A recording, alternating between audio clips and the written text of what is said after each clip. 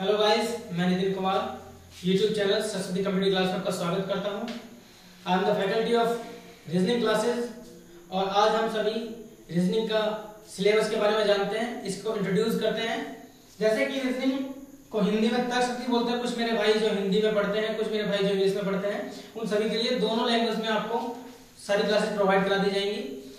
जैसे कि रीजनिंग आप लोग जानते हैं रीजनिंग को तर्क शक्ति भी कहते हैं। तर्क शक्ति का मतलब होता है आपकी सो, सोचने की एफिशिएंसी कितनी है। आप सोचते कितना और कितनी जल्दी सोचते हो। इस चीज़ को बोलते हैं रीजनिंग रीजनिंग को टू पार्ट्स में डिवाइड कर रखा है।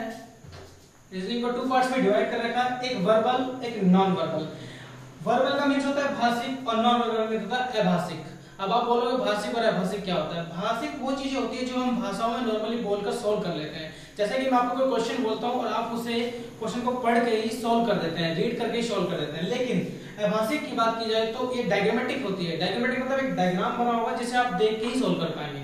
बिना देखे आप सोल्व नहीं कर पाएँगे। इसलिए दो पार्ट्स में डिवाइड है, भाषिक और अभाषिक। भाषिक रीजनिंग में आपको या फिर वर्बल रीजनिंग में आपको 28 चैप्टर के आसपास पढ़ने होंगे, जिसमें एसएससी प्लस पीओ की सारी सारी रीजनिंग मिलेगी। दूसरा एबासिक में आपको 12 चैप्टर पढ़ने होंगे, यानी 12 चैप्टर्स पढ़ने होंगे, जिसमें एसएससी प्लस पीओ कंप्लीट मिलेगी। सो थैंक्स सपोर्ट्स जिससे कि हम लोग कल से अपनी वीडियो जारी रखें।